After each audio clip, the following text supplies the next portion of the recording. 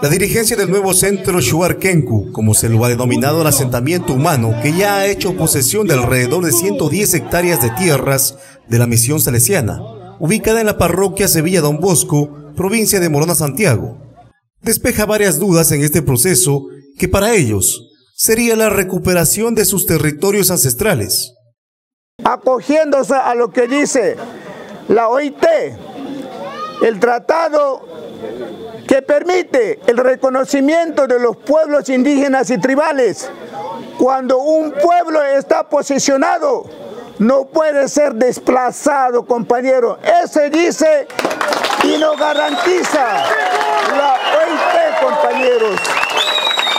Por eso les pido, compañeros, no abandonar, compañeros.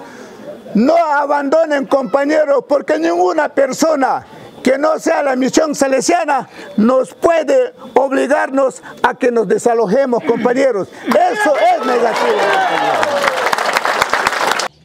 Las tierras, que ya se encuentran divididas en 412 lotes, serían especialmente destinadas para aquellas personas de escasos recursos, tercera edad y personas con discapacidad, cumpliendo con uno de los objetivos que es el beneficio social para su pueblo.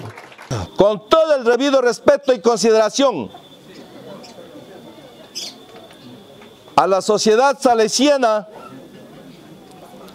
quisiera pedir disculpas por este asentamiento humano en la que todos el pueblo Shuar viene ocupando. No somos invasores, somos posesionarios. Nuestros territorios amazónicos nos pertenece. Es con el, con el afán de servir a la sociedad de una, de una de diferentes distintos situaciones sociales. En el territorio existe padres solteros, madres solteras, adultos mayores, personas especiales, entre otros niños y jóvenes, en total de mil personas asentados en 110 hectáreas que en el 2022 ocupamos por derecho y por nuestros derechos. A la asamblea desarrollada el pasado fin de semana, llegó el nuevo presidente de la Federación Interprovincial de Centro Shuar Fitch, David Tancamash, quien tendrá que garantizar la convivencia pacífica de su pueblo.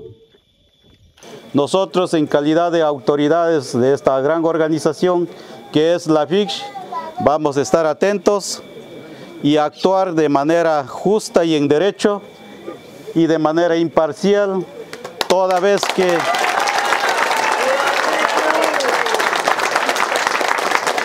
Toda vez que compañeros socios, invito que mantengamos unidos, no peleemos entre hermanos con el compañero síndico de Sevilla, que más bien hay que dialogar. En mi calidad de presidente voy a interceder en esta situación para que, para que vivamos en paz y en armonía. En este lugar, los nuevos posesionarios de la tierra ya han iniciado con trabajos de construcción de sus viviendas, informó Robinson Rodríguez.